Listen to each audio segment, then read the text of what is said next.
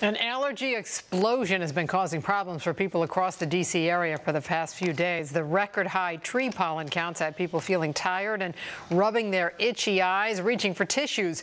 Jane Watrel is out in front of the News 4 studio with more on all this. Hi, Jane. Well, hi, Doreen. While allergy sufferers have it bad right now, the good news is there's medicine to help them stay comfortable.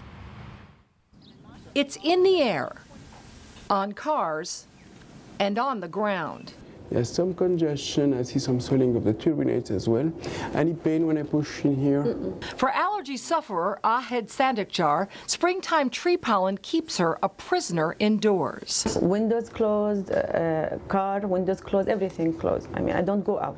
She's not alone. Tens of thousands of active spring allergy sufferers in the D.C. area are feeling the effects of pollen from such trees as birch, maple, and oak.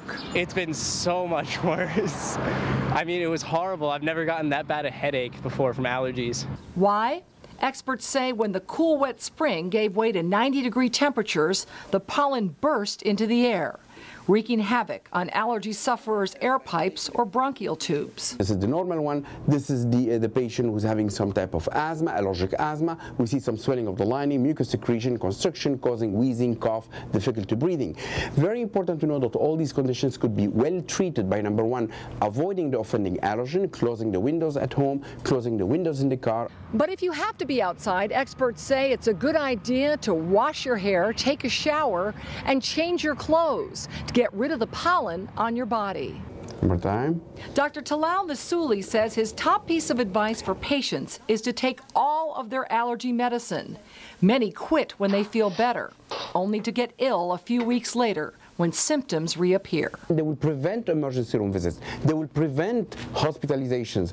These emergency room visits, these hospitalizations are extremely expensive. A timely warning to avoid a costly mistake.